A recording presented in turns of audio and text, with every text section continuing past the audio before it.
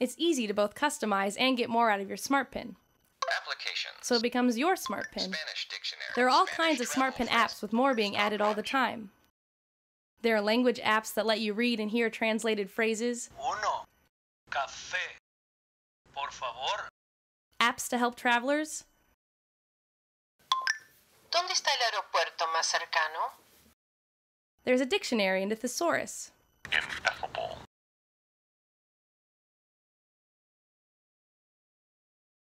Apps to help you study,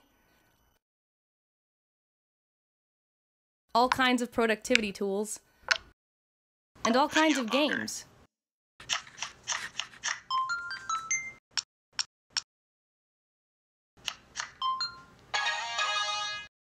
Full house. If you're into music, there are apps that turn your pad into a piano.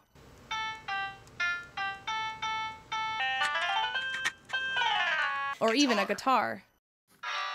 All from the tip of your smartpen. Apps, a smart way to customize your Echo Smartpen.